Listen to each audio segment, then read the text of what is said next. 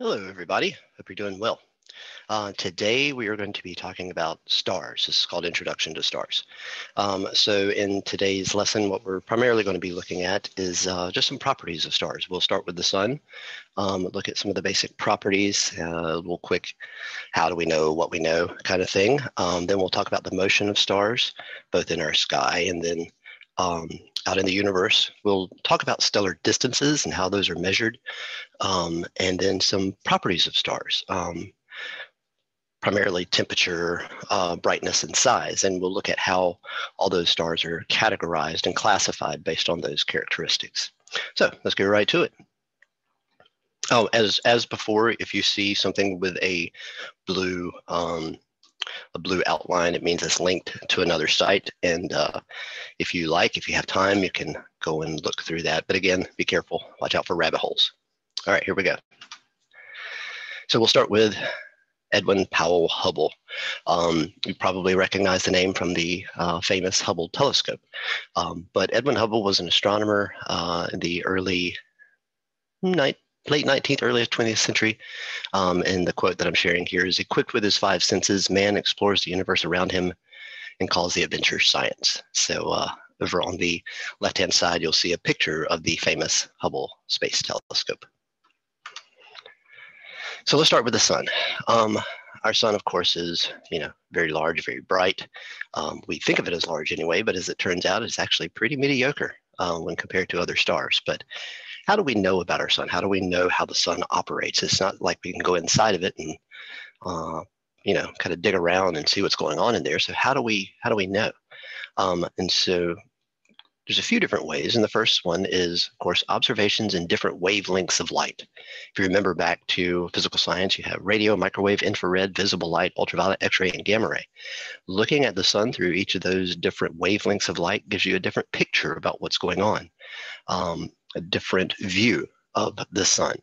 And so by using that and by studying the material that streams out of the sun, um, for example, charged particles, um, high, fast moving, uh, tiny little atomic nuclei, energy, um, wavelengths of light, uh, these weird, strange particles called neutrinos, um, all those are different ways that we can study our sun.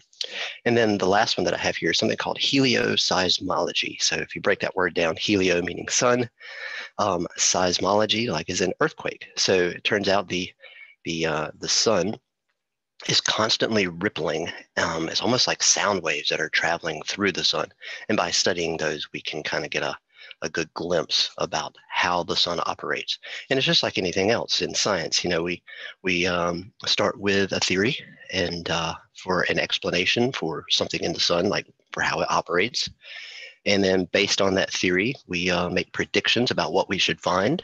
And uh, that's what we found. We found that the sun is a large, very massive object that is undergoing nuclear fusion at its core um, fusing hydrogen nuclei into helium.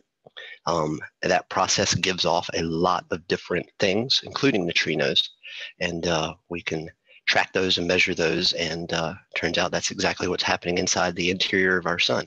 It is fusing hydrogen into helium um, at an extremely fast rate. Uh, it's almost like an explosion. The sun is trying to blow itself apart. Fusion is a huge, powerful reaction. But at the same time, gravity is pushing down on it. So that that explosion is contained and it just kind of sits there.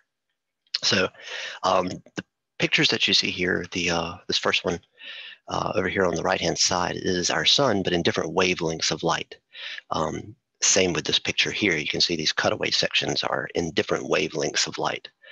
Um, and this last one over here is actually the sun superimposed onto um, a disk that covers up the sun by a a solar observatory in outer space so we can see the charged particles kind of flying out.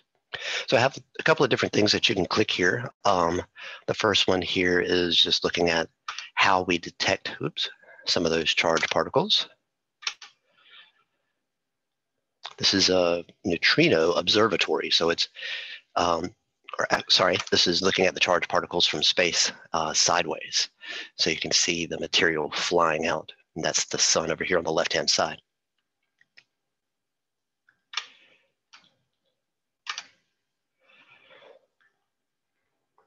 All right.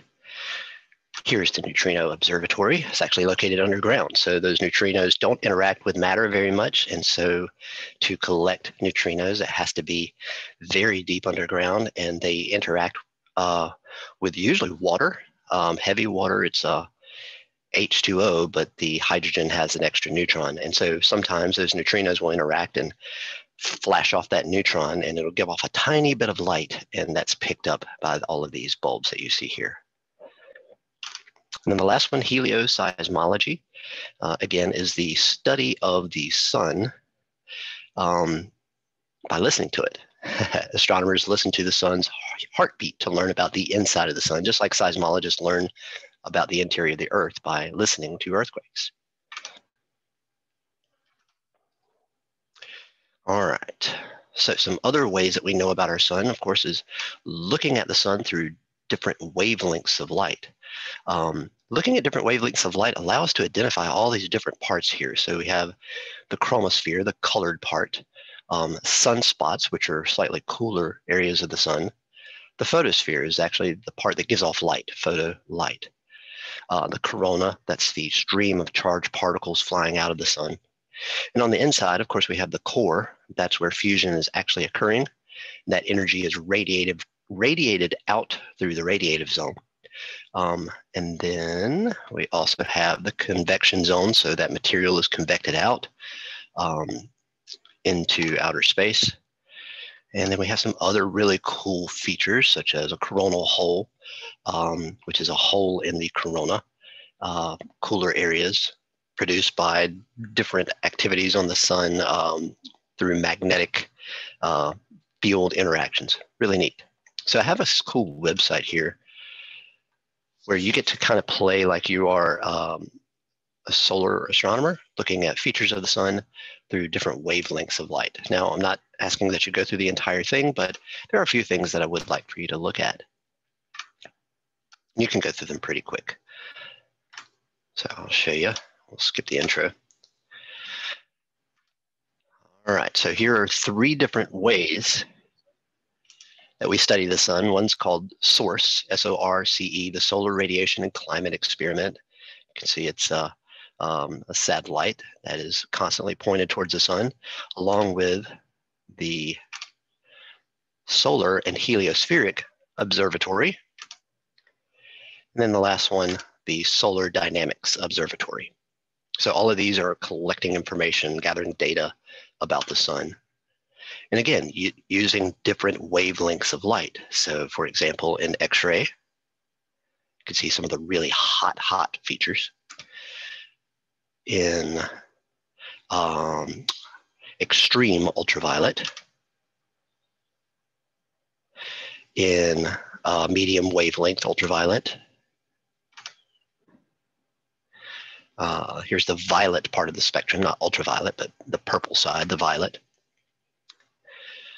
Uh, let's see, this is the visible part of the spectrum. So red, orange, yellow, green, blue, indigo, violet. Also in the visible band. And here we have an infrared view and finally a microwave view. So all of those are giving you glimpses into different features. To fast forward through this. All right. So looking uh, in visible light, we can see the photosphere, the surface of the sun, the chromosphere, the colored part. It's a thin layer just above the photosphere. Let's skip down to the corona, and we can see that in extreme ultraviolet, and then finally the solar wind. All right. So by, again, looking through all of these different wavelengths of light, we can see different things. So coronal holes, see the magnetic structure. Um, invisible light, we can see sunspots, cooler areas.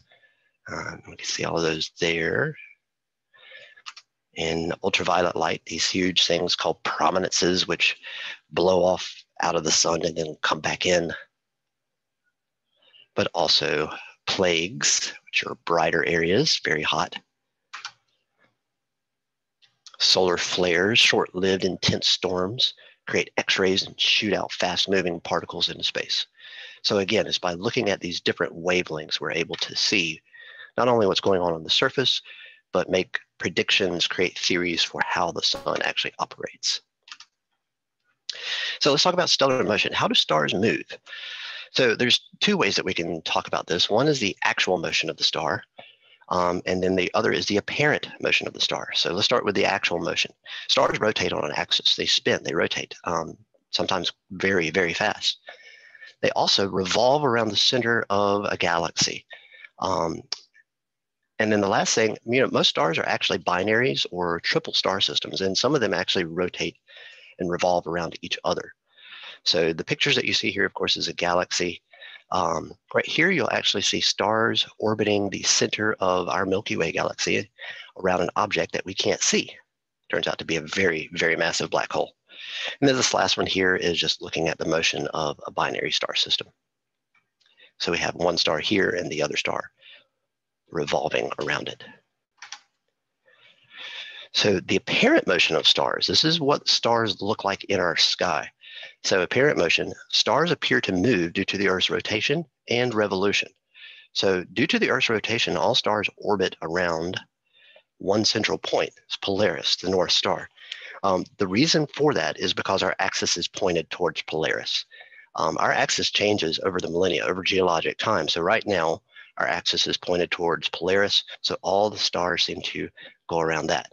There are certain special stars called circumpolar, uh, which just go all the way around. Can't actually see those in the southern hemisphere.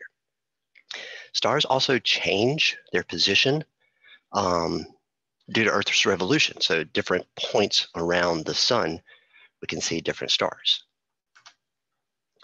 And this brings us to constellations. So what are constellations? Constellations are just groups of stars that appear close together and they form a pattern. Um, they are named usually after mythological figures, animals, everyday objects like ladles. Um, in ancient times, they're actually used as storytelling. Um, they were the entertainment. That was, that was the Netflix of the day. So uh, today we use them as roadmaps. Um, and I'll show you what I mean. If you click on this link, it'll take you to some online planetarium software, basically. Um, it's a really neat application, very easy to use. And you can set it up and um, for anywhere on the planet and look at at any time of day where the stars are. But I want to show you the constellations very quickly. Here we go. So you can see the cardinal points there, northeast, southwest. I'm going to cut on the constellations and their art. There we go. And just for fun, I'm gonna point us towards the north and show you those circumpolar constellations. So here's Ursa Minor, right there is Polaris. Let's click this and just kind of go through the time by hour. Oops. Hey, whoops. All right, here we go see how they all just seem to turn, uh, rotate around that point there, Ursa Minor.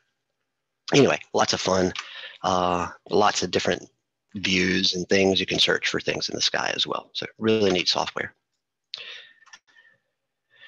Circumpolar constellations are just those constellations that you can see year round because uh, they circle the poles. And so there's about five or six of them, depending on where you are on the planet. But for most of us in the Northern Hemisphere, there are five main constellations that we can see. Ursa Minor, the Little Bear, Ursa Major, the Big Bear, including the Big Dipper, uh, Cassiopeia, the Queen, Cepheus, the King, um, right there. A little bit of Camelopardalis, camel, and uh, Draco, the water dragon, or Draco the dragon. There's some seasonal constellations as well, and these are very related to the zodiac, but uh, seasonal constellations are only seen, sorry for the typo, during specific times of the year due to the position of the Earth in its, uh, in its revolution around the sun. So, uh, for example, we can see Orion in, you know, the winter months, but in the summer months, we don't see it. So how do we measure distance? Measuring distance in space is a very tricky thing. Um, it's not like we can get out there with a ruler um, or measuring tape or drive to the star and you know walk to it or whatever you, you can think of to try to figure out distance. So how do astronomers find the distance to stars? And there's different methods. So we're going to start with the method um, that can tell us the close stars and their distance. Um, so the first one I'm going to talk to you about is something called parallax. Now, parallax is a method of determining distance to a star based on the shift in apparent positions of the star viewed from different angles. Um, how, so how do we view a star from a different angle? Well, we just wait six months. Take a picture of a star in, let's say, January, take it a picture again in July, and it will have, if it's close enough, it will have changed positions just slightly. We can use that change in positions um, to determine the distance. Again, it's a method called parallax, and it's something you're actually very familiar with. Easy. Hold your thumb out, close one eye, look at your thumb, keep it steady, then flip to the other eye, back and forth, and you'll see that your thumb changes position. So our brains actually use parallax to determine distance based on the two different images from here and here. It's just like uh, how we use parallax to see um, stars. We can look at it in June versus December um, and look at that apparent shift in position. Here's another trick. If you do it close, you'll see it's a very large parallax. But for things that are really far away, it's a very small parallax. So parallax um, you can see kind of the shift in the star's position here in this little um, bottom GIF, I call them GIFs. Um, but over a six months period, observers will note where the star is located. And based on that little tiny little change and just a little bit of right triangle math, basically, Pythagorean theorem, we can work out the distance to the star. But here's the problem. It only works for stars that are about 326 light years away, which is actually not very far, um, or 100 parsecs. I'll talk about a parsec in just a minute. Um, they have to be kind of close. They get too far away. It's too small of a change to be able to measure. Um, and so we can't work out distance. So this method really only works for kind of close stars, our nearby neighborhood. So I, I said something about a parsec, and you've probably heard something about a light year. So I want to talk about distances we measure distance to stars in different units. Um, one of them, of course, you're kind of familiar with astronomical units. That's a little bit too small to measure distances. So we use the term light year. A light year is the distance that light travels in one year. You can do the math. If light travels at a speed of 300,000 kilometers per second, all right, how far does that light beam travel in one year? 300,000 times that's per second, times 60 seconds in a minute, times 60 minutes in an hour, times 24 hours in a day, times 365 days in a year. Works out to be about 95 9.5 trillion kilometers in one year. So it's a big number. Let's just make it easy, equal to one light year. Just to give you some comparison, the sun is eight light minutes away from the Earth. Um, that means that light takes eight minutes to reach us from the sun to here. This also brings about a very interesting idea as far as time. We don't see things as they are, we see things as they were. The closer they are, the more close to the present we see them. So if I were looking at you in a classroom, light takes a fraction of a fraction of a fraction of a fraction of a fraction of a second to bounce off of you into my eyes. So I'm not seeing you as you are then, I'm seeing you as you were a fraction of a fraction of a fraction of a fraction of a second ago. The most distant objects we can see with telescopes are things that are 13 billion light years away.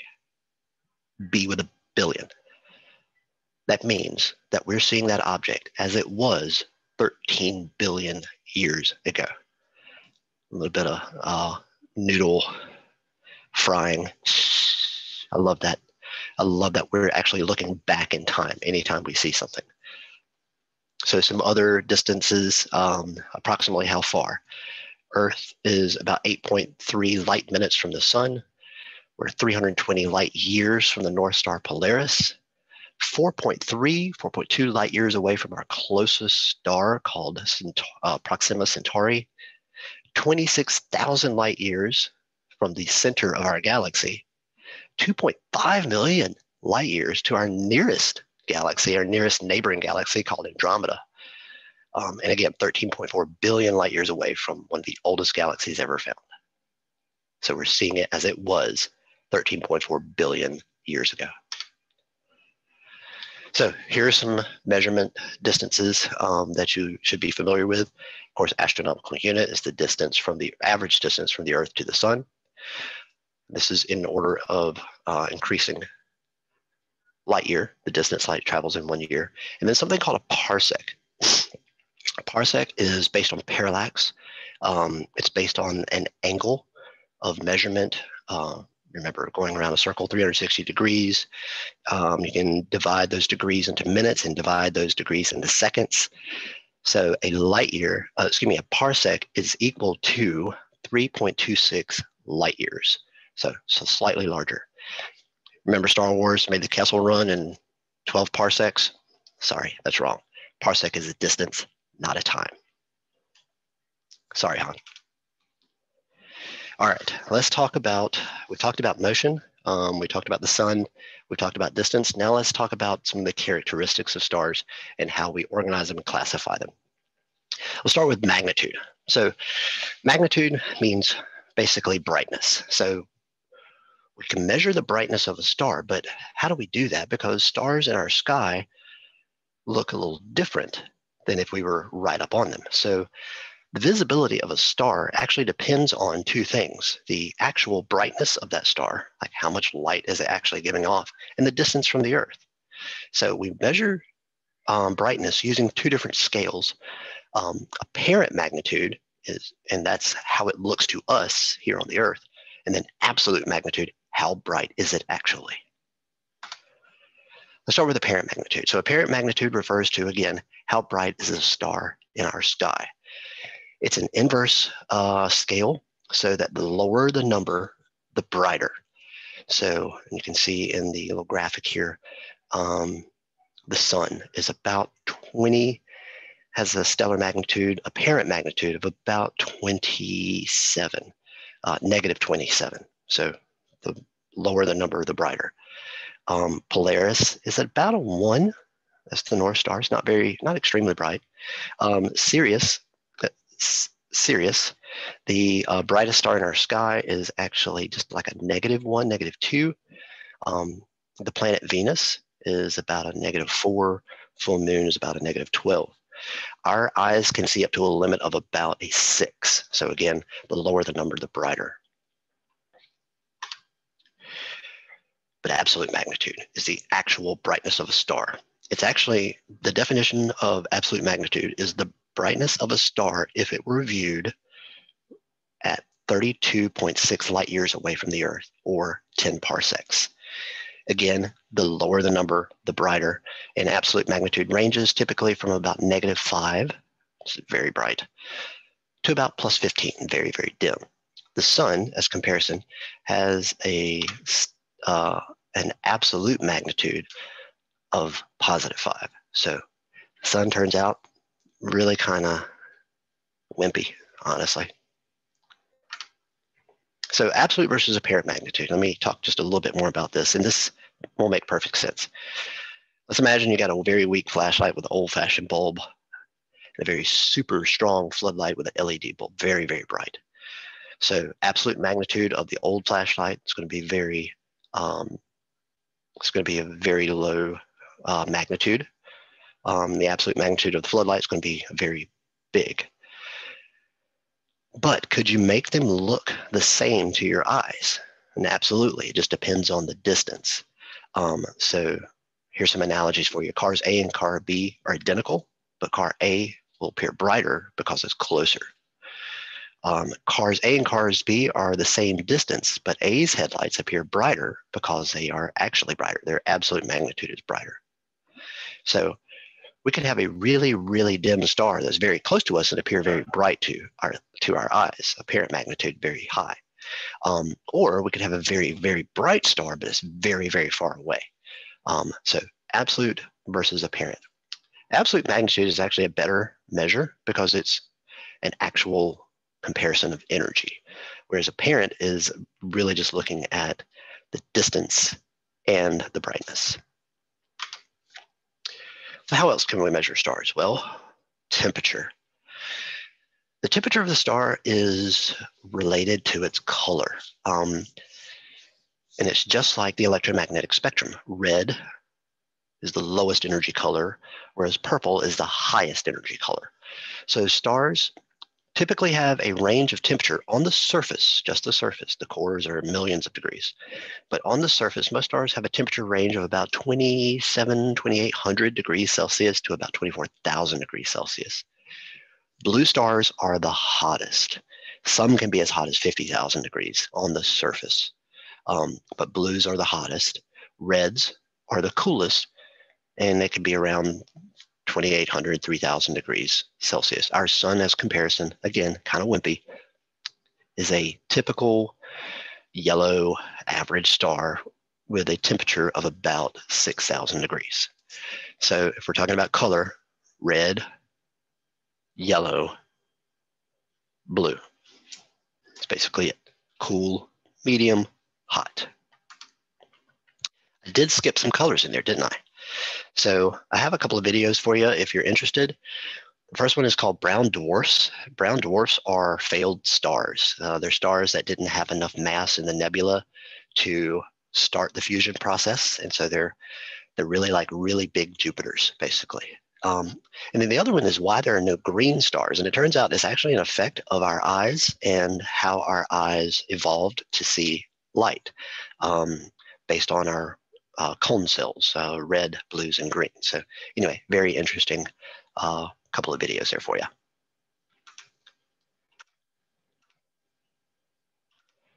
All right, how do we classify these stars? So we've talked about brightness, we've talked about temperature and color. If you take a sample of as many stars as you can, and you start to classify them based on temperature and brightness, you'll start to see a pattern a pretty good pattern. Um, and so that's what the Hertzsprung-Russell diagram is doing. And you're going to be very familiar with this, hopefully. The Hertzsprung-Russell diagram shows that pattern between absolute magnitude and the surface temperature of the star. Basically, the brightness of stars will increase as temperature increases. So in this graph, let's look at uh, the y-axis. Here we have absolute magnitude. Remember, the bigger the number, the dimmer. The lower the number in the negatives, the brighter. And across the top, you'll see the temperature. Now, the temperature is set up um, really hot over here on the x-axis to very low. And you can kind of see the color go from blue to yellow to red. Here's our sun. Again, medium brightness, medium temperature, kind of on the smaller side, smaller side. You'll also see over here, this a same, a similar scale. This is luminosity, um, also measuring brightness, but in more empirical units. And then spectral class, which is uh, just a classification of stars based on their temperature.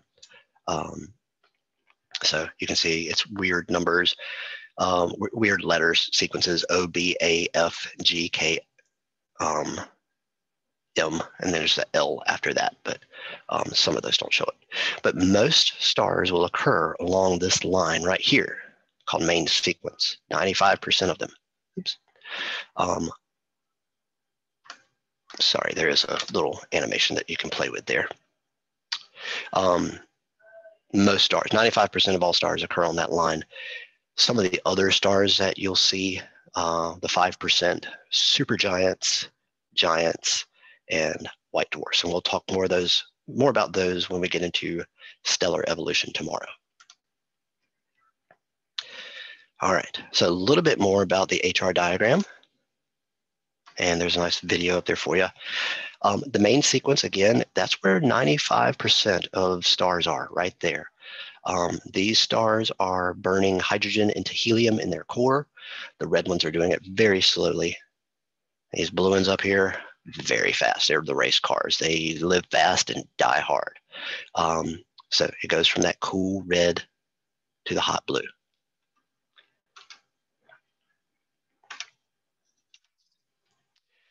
So again, the x-axis corresponds to temperature, and you can see it's an inverse, so it starts high and goes low. The y-axis goes from dim to bright. Again, main sequence stars, 95% of them are burning hydrogen into helium, fusing hydrogen into helium in the core. Oops. The other parts, white dwarfs, supergiants and giants, are at the end or near the end of their life cycle. So they are no longer burning hydrogen into helium. Something else is happening there. And again, we'll talk about that more tomorrow. So what determines that life cycle? Um, so we've looked at the magnitude of the star or the brightness, the temperature. What determines where they fall on that main sequence line and what determines what kind of life they will have and what they will end up as. Will they end up as a white dwarf, uh, giant to a white dwarf, or will they end up as um, a supergiant to a neutron star or a supergiant to a black hole? And the answer is actually quite simple. It's the mass. It's the mass of the star. How big is it? Um, think of the mass of the star like an engine. Um, red, cool, small stars are like little Priuses. They can go for a long time, burning, just chugging away. But those blue ones, huge mass, massive. If you saw the scale um, video of stars that I showed you after the METOC test, you'll understand that some stars are incredibly massive, 20, 30 times the mass of our sun. Those stars can burn through their nuclear fuel like a race car, like these huge engine race cars. They burn through it so fast and they live fast and then they die hard. They go supergiant to supernova, um, leaving behind a neutron star or even a black hole. So lots of interesting things here. I've got quite a few links if you'd like to take a look. But it all has to do with mass. Again, last thing, how do we know what we know? Um, how do we study stars? How do we know that it's burning hydrogen into helium? And that comes down to its light. So light of course, can give us lots of information. Scientists use things called spectroscopes. And spectroscopes are actually just prisms. So they can hook a spectroscope up to a telescope, allow the light from the star to come into it. Um, that prism will break that uh, light up into its component colors. However, when you see the spectrum of a star that's really finely detailed, you can see that there's some missing portions. This is actually the uh, over here on the bottom right, is actually the spectrum of the sun. And you can see all of these dark areas. So what are those dark areas?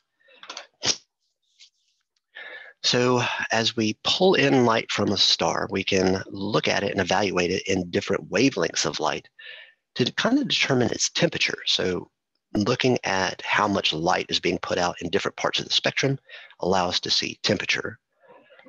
But then the prism of that light can tell us what's actually burning on the inside. One of my favorite uh, little experiments, demonstrations when I was studying chemistry in college was we would take um, a little metal rod and dip it into an element. Um, and then take that element, stick it on a Bunsen burner fire flame, and it would go and burn a certain color. You know this from fireworks. Fireworks have different elements added to the uh, gunpowder the powder so that when it burns, it burns a certain color. So different elements burn different colors. So stars, as it's burning through its um, hydrogen, fusing hydrogen into helium, it sends out light that shines through the entire star. Once that light leaves the star, it carries with it information about what was on the inside. And so we analyze those spectra to determine exactly what's going on inside of it. So here are three different types of spectrums. One is a continuous spectrum, very typical. You can get that with any prism. But these other two, the emission spectrum and the absorption spectrum. The bright line or emission spectrum depend on the element that it's shining through. The dark line or absorption spectrum when the wavelengths pass through a cool gas, some are absorbed in the same characteristic pattern.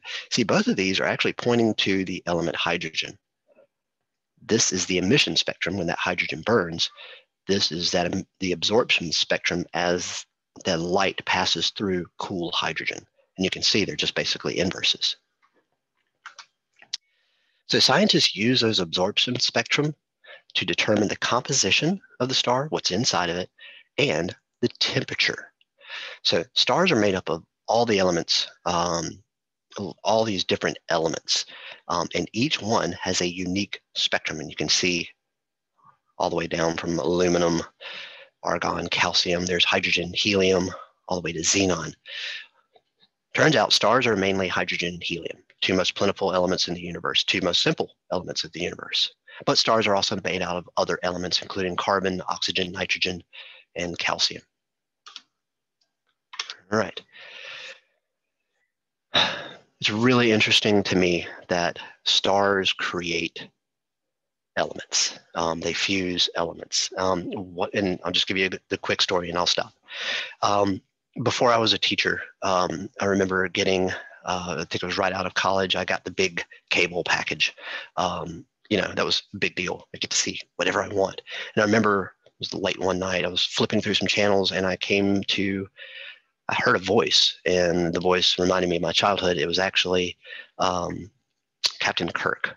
Uh, from Star Trek. And he was actually doing a documentary and it was about stars. And the thing that captured my attention was when he said, stars create matter, they create the elements of the universe. What you're going to find out in the next couple of classes is that hydrogen and helium were the primary elements of the universe, but that those hydrogen and helium elements combined to make the first stars. Inside of the cores of those stars, hydrogen was fusing into helium, and then it would fuse hydrogen and helium into other elements. In the most massive stars, you can actually fuse all the way up to number 26 on the periodic table in the core of that star. Number 26 is iron. Iron is a very special element because it cannot be created inside of this gravitational pressurized crucible of a star something else has to happen to make all the other elements. So once the star hits that hydrogen, oh, excuse me, hits that iron, fusion stops. And so remember, like I said, fusion is an explosion trying to blow it up. Gravity is a force trying to crunch it down. Once fusion stops, gravity wins and it crunches and it explodes back out. That explosion takes all those other elements, the, the hydrogen all the way up to iron, and then fuses them with other elements to make everything after number 26 on the periodic table. So the point of the story is stars created us. All the elements that are inside of us, all the elements that make everything around us was formed in a star. We are literally stardust. So um, for me, it's important to understand where we came from and this is how we do it. All right, so I've talked a lot. I know I've gone through a lot of material. I appreciate your attention. If you have any questions or want to talk about any of this stuff, please let me know. I would uh, be more than happy to do so. So thank you very much, and uh, we'll see you soon.